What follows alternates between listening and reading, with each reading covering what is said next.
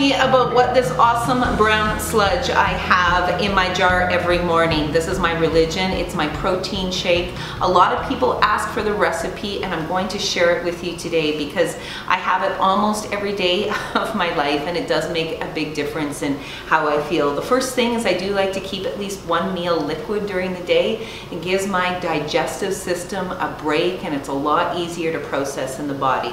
So here comes my recipe. What I do is I love the Vega Sport Chocolate Protein Powder. One big scoop of that in the blender, a ton of ice. Ice is important because it keeps it slushy. And then I avoid fruit, and the reason being is because fruit is carbohydrates, and I do tend to follow a bit more of a keto diet. I just keep the carbs down and I up the protein. So what else I put in here usually, but I was missing it today, is a ton of spinach, like as much as I can jam in the blender.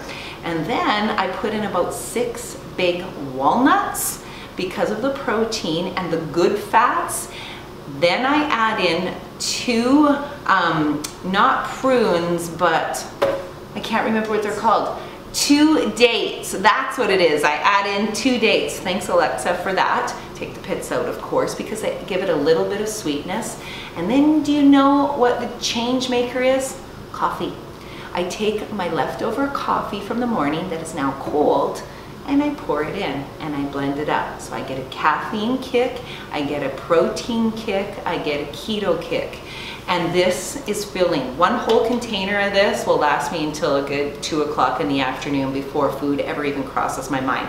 Trust me, I love eating.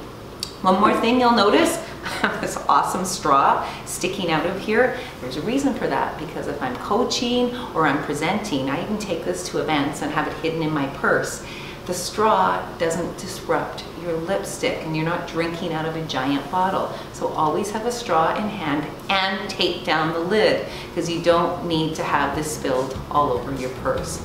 I speak from experience, trust me on this.